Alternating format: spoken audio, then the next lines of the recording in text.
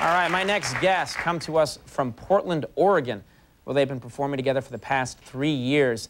Here tonight to play a song from their debut album, Manos, are the Spinanes.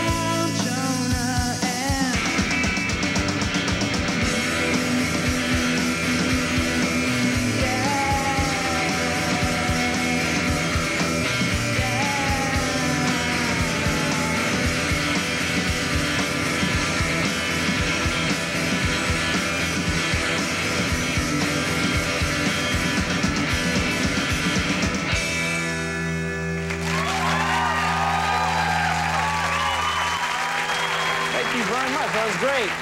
The Spinanes will be right back.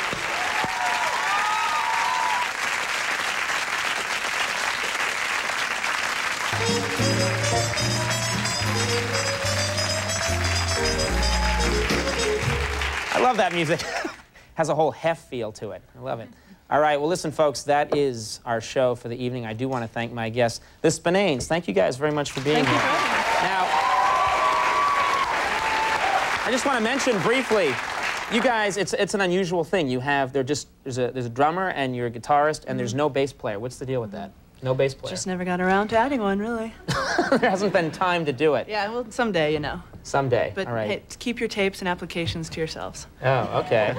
for the moment. All right, because I play a mean bass. All right, well, listen, thank you very much for coming on the show. It Sure. sounded great. I also want to thank Anka Radakovich. Am I doing that right? Mm-hmm. All right. Thank you.